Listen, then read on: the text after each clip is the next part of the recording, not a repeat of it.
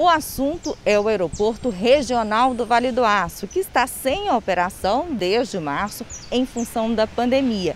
E a expectativa é que ao longo desses meses fossem realizadas as obras de reforma da pista de pouso e decolagem e da área de taxiamento. Em agosto, o governo estadual divulgou que foi contratada a empresa que ganhou a licitação para fazer essa obra e que a finalização da obra seria em dezembro, mas depois disso os prazos foram alongados. Nessa quinta-feira houve uma reunião proposta pelo prefeito eleito de Santana do Paraíso, Bruno Morato, em que o Flaviano Gadiato participou, por isso ele está aqui comigo, Flaviano, além de você, no superintendente da Infraero, e também o responsável pela, o chefe de gabinete da Agência de Desenvolvimento Metropolitano do Vale do Aço também participou dessa reunião, né? Qual o assunto tratado? É, bom dia, Vanessa. Né? Ah, o assunto, na realidade, foi um pedido nosso para verificar a possibilidade né, de voltar o aeroporto a operar enquanto não se iniciasse as obras. A dificuldade que foi levantada foi que a Azul precisa mais ou menos 60 dias né, para se programar, preparar, fazer toda a rota. E com os atrasos que ocorreram, em função, primeiro, da campanha eleitoral em que a verba não pôde ser liberada, depois, em função de período de chuvas, né, as obras agora são previstas para início em fevereiro. Então não teria sentido né, você operar, levar 60 dias para operar, iniciar a operação, que seria em janeiro, e em fevereiro parar novamente. O que nós estamos tentando fazer, né, junto com as autoridades de Estado, é ver se a gente consegue antecipar essa data de início das obras.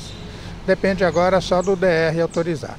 Uhum. Porque é um prejuízo muito grande para a cidade, né, economicamente falando, fora a questão né, do, do turismo mesmo, desse aeroporto estar sem operação por tanto tempo, né?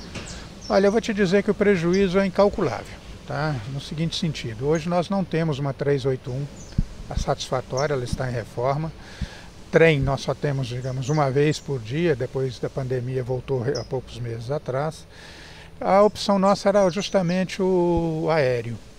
E para nós da indústria né, é extremamente importante porque é a maneira com que nossos clientes nos visitam, a maneira com que a gente consegue visitar os nossos clientes e também é, inspetores e tudo mais. Isso sem contar né, o comércio, sem contar os voos pessoais.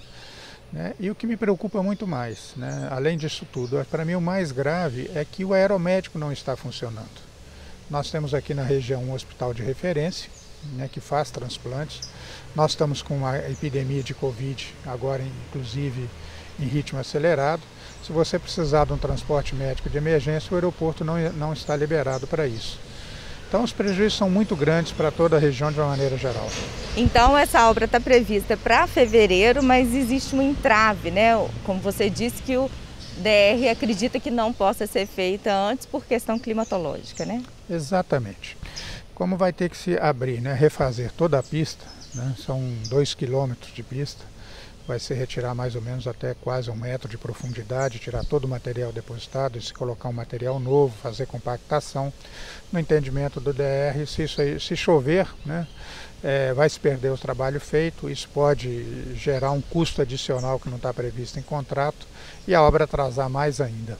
Então, por isso, eles estão optando por abrir ou iniciar as obras, segundo eles, a partir de fevereiro. Então, por enquanto, esse é o prazo, né? Infelizmente, por enquanto, esse é o prazo. Uhum. Nós fizemos uma tentativa, né, é, junto à Azul. Eu sei que a Infraero também solicitou isso junto à Azul, a, toda a sociedade, os prefeitos, os deputados, está todo mundo cobrando isso. Né, estamos trabalhando é, de uma certa forma em conjunto, né, cada um do seu modo, mas com o mesmo objetivo. Mas infelizmente a gente não tem conseguido nem que o aeroporto continuasse funcionando nesse período. Infelizmente mesmo a partir de fevereiro a nossa melhor expectativa no momento.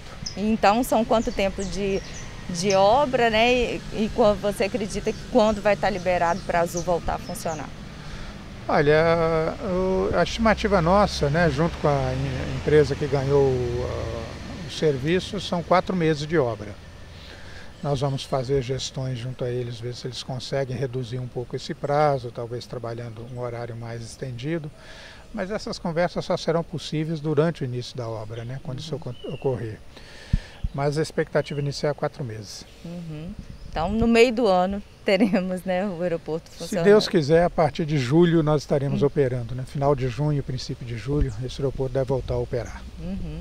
Obrigada pelos esclarecimentos, então, Flaviano, né, que tudo corra da melhor forma possível para a gente conseguir esse adiantamento na obra. Zug, conteúdo o tempo todo.